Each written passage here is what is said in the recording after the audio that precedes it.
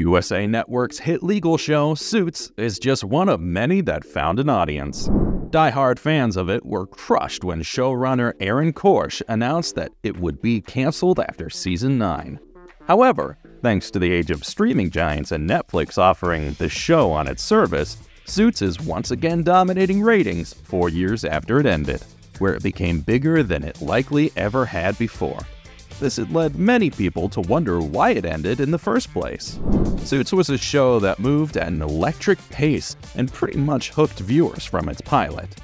Aside from the fact that the show's main characters were naturally alluring, its concept and novelty also provided the perfect template for success. It centered on a glamorous corporate law firm located in New York. Its main appeal came from co-lead character Harvey Specter, a high-powered corporate attorney and one of the best closers in the field.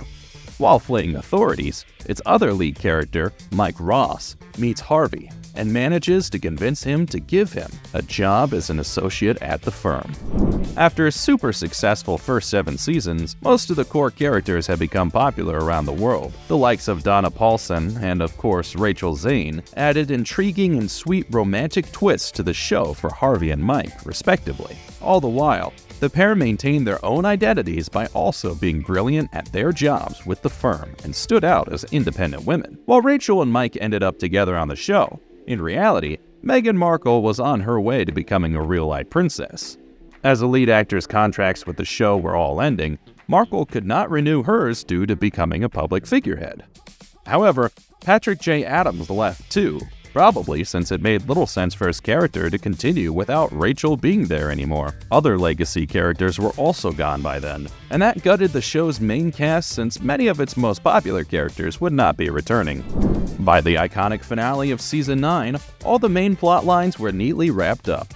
In a surprise twist, although years in the making, Harvey unexpectedly proposes to Donna at Louis's wedding, and they get married right then and there. With the firm back in the hands of characters who deserve to run it, Harvey proves just how much Mike's friendship had rubbed off on him over the years. He and Donna also decide to move to Seattle and help Mike and Rachel in their quest to provide legal services to people in need.